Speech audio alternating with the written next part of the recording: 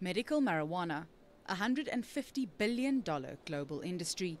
And the small landlocked kingdom of Lesotho is hoping to get its share of the so called green gold rush. It became the first African country to legalize the cultivation of medical cannabis in 2017, prompting companies like MediGrow to set up shop just outside the capital, Maseru.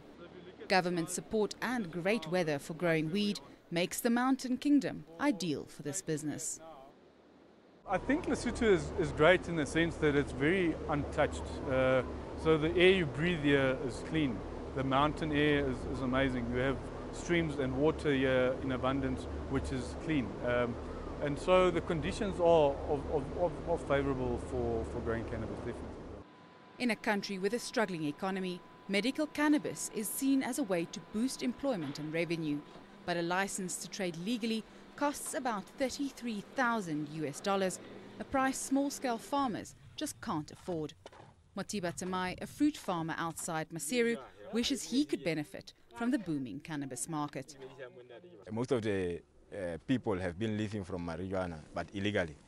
So we were hoping that this will be an opportunity for them to, to farm it uh, legally now and try to improve their lives. So if they don't uh, get that opportunity because of finance, I think it's a little bit not uh, fair for, for, for, for the people. In a country where marijuana has always been traditionally cultivated, many are still forced to smuggle it across the border into South Africa. It is a dangerous activity, but my children survive because of this. They can have clothes and food but I can die from smuggling. The UN estimates that the illegal trafficking of cannabis is the third largest form of income in Lesotho over the last decade.